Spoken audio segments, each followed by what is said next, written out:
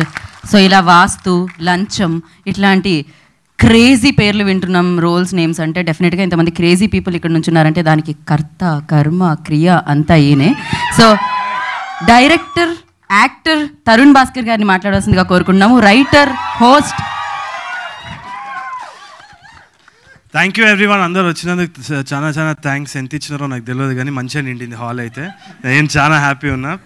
Thank you press everyone thank you for supporting coming out here ఏం చెప్పడానికి లేదు. నేను యాక్చువల్లీ మళ్ళీ ఇక ప్రిలీజ్ ఈవెంట్ అప్పుడు మళ్ళీ tell you about the story కానీ ఆ పెళ్ళి చూపులు ఈ నగరానికి ఏమైంది? లాడ్ ఆఫ్ ఇంటర్పర్సనల్ రిలేషన్షిప్స్ ఉంటుంది. ఒక డ్రామా కూడా వెళ్తుంటుంది కదా.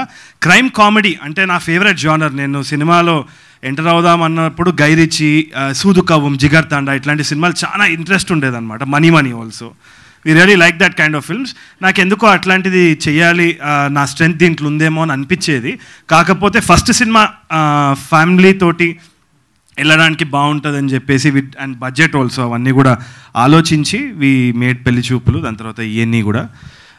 Crime comedy has a completely different vibe అని తర్వాత అర్థమైంది. Then I was writing it was very difficult that entire story has come out brilliantly on paper మేము రీడింగ్ చేసినప్పుడు కూడా నవ్వుకున్నాం బాగా.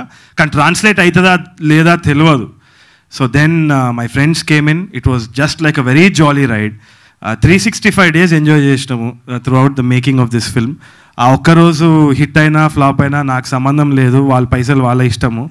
నేనైతే ఎంజాయ్ చేసిన నాకు తెలియదు ఐఎమ్ రియలీ ఎక్సైటెడ్ మీరు కూడా మీకు అబ్సల్యూట్లీ ఒక నావెల్ ఫ్యాక్టర్ ఉంటుంది. ఎక్కడ లేజీ ఫిల్మ్ మేకింగ్ లేదు.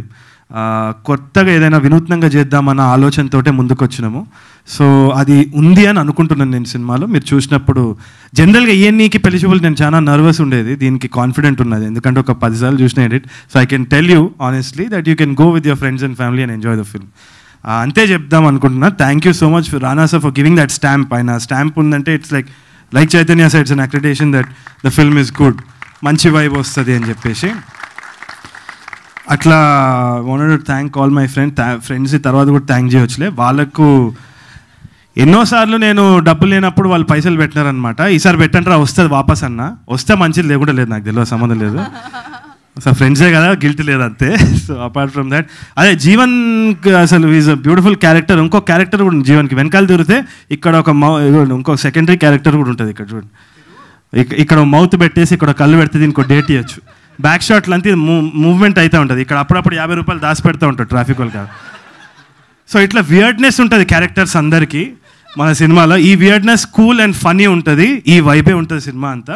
తప్పకుండా మీరు ఎంజాయ్ చేస్తారని నేను నమ్ముతున్నా. తర్వాత మళ్ళీ మాట్లాడుకుందాం. Thank you so much thank you thank you so much